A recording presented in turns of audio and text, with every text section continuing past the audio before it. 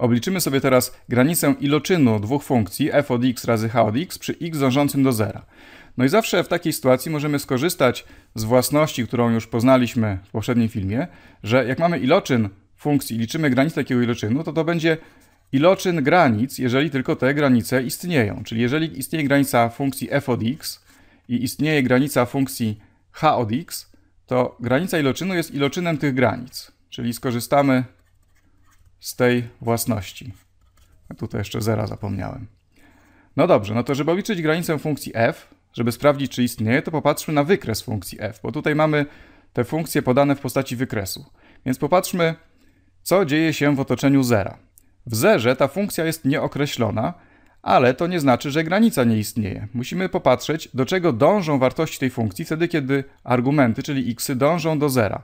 Najpierw popatrzmy, do czego dążą wartości funkcji, jak dążymy z argumentem z prawej strony do zera, czyli tutaj zbiegamy z x z prawej strony do zera, no to widzimy, że te wartości, które się układają tutaj wzdłuż tej linii, wzdłuż tego wykresu, dążą do minus jedynki.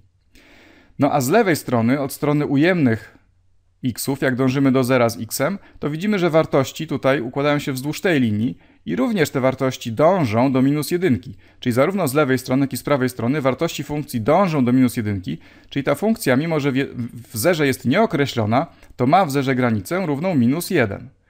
Więc ta granica istnieje i jest równa minus 1 i teraz musimy zobaczyć, czy istnieje ta granica i ile ewentualnie jest równa. No to popatrzmy na wykres funkcji h. Widzimy, że ta funkcja jest ciągła tutaj, w tym obszarze, gdzie jest narysowana i jej wartość w zerze jest równa 1. Ale ponieważ jest ciągła, to również jej granica w zerze jest równa 1, ale możemy popatrzeć, że jak dążymy z argumentem z x z prawej strony do zera, to wartości, które się układają wzdłuż tej linii, widzimy, że dążą do jedynki. Tak samo z lewej strony wartości wzdłuż tej linii się układają. Widzimy, że te wartości tutaj dążą do jedynki, a również wartość funkcji w tym punkcie jest 1, więc nie ma wątpliwości, ta funkcja jest ciągła w tym punkcie i ma granicę równą wartości swojej, to wszystko jest równe 1, czyli razy 1, czyli odpowiedź do tego zadania jest taka, że ta granica jest na minus 1, bo to jest po prostu iloczyn tych dwóch granic. Obie istnieją, wszystko jest proste. No to zróbmy następny przykład.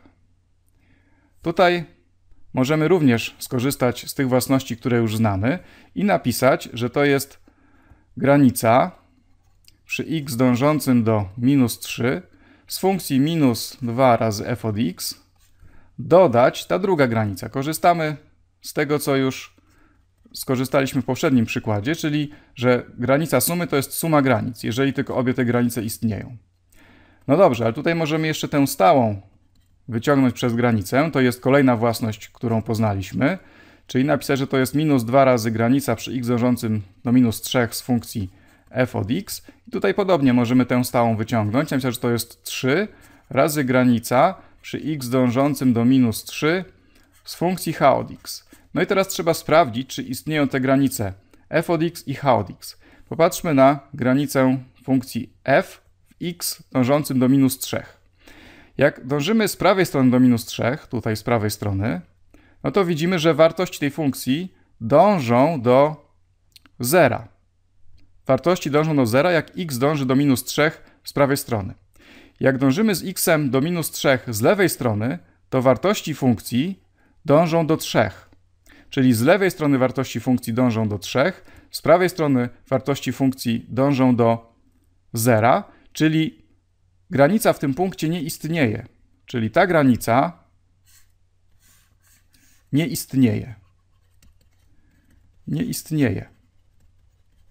No, jeżeli nie istnieje ta granica, to nie istnieje również ta granica, którą tu mamy obliczyć, dlatego że żeby istniała granica tej sumy, no to musi istnieć granica każdego z tych składników, więc nawet, nawet nie musimy sprawdzać, do czego dąży ta funkcja h i czy ta granica istnieje. Skoro jedna z tych granic nie istnieje, to nie istnieje również granica tej sumy, czyli ta granica również nie istnieje.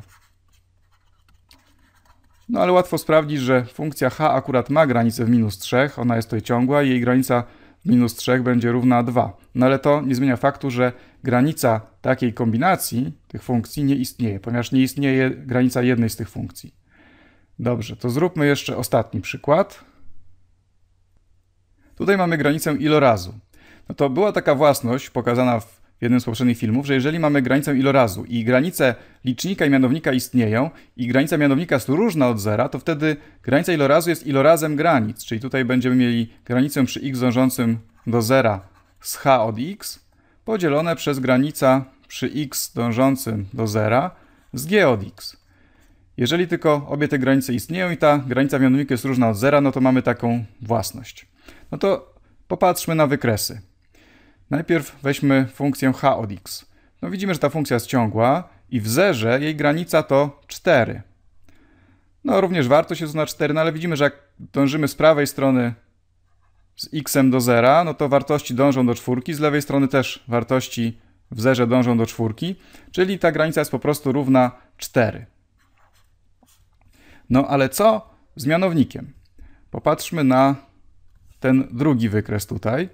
No i widzimy, że ta funkcja jest oczywiście ciągła i w zerze jej granica jest równa 0, wartość jest równa 0, ale widzimy też, ponieważ nas ciągła, to wartość jest to tym samym co, co granica. Widzimy, że jak dążymy z argumentem z x do 0, to wartości funkcji z obu stron dążą do 0, więc ta granica istnieje w tym punkcie, ale ta granica tej funkcji przy x dążącym do 0 jest równa 0. Czyli tutaj w mianowniku pojawiłoby się 0, ale przez 0 ja nie mogę podzielić. Czyli nie mogę wykonać takiego działania. Czyli widzimy, że ta granica, pomimo że obie te granice istnieją, to ta granica nie istnieje, ta granica nie istnieje. Dlatego, że nie mogę podzielić przez 0. Żeby ta granica istniała, to ta granica w mianowniku musi być różna od zera. Czyli ponieważ nie mogę wykonać takiego działania, nie mogę 4 podzielić przez 0, to z tego wynika, że ta granica nie istnieje. Oczywiście można by się było tutaj zastanawiać, czy istnieje granica niewłaściwa, ale to jest oddzielny temat i tutaj tym się nie zajmujemy. Granica w takim ścisłym sensie, jako skończona liczba, takiego ile razu nie istnieje.